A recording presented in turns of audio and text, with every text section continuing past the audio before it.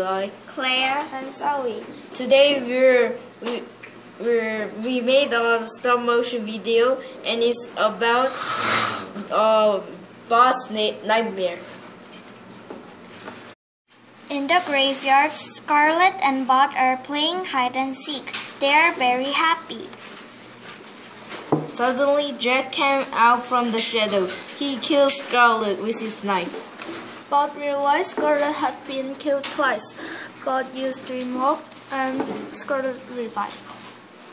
Thank you for watching our stop motion video.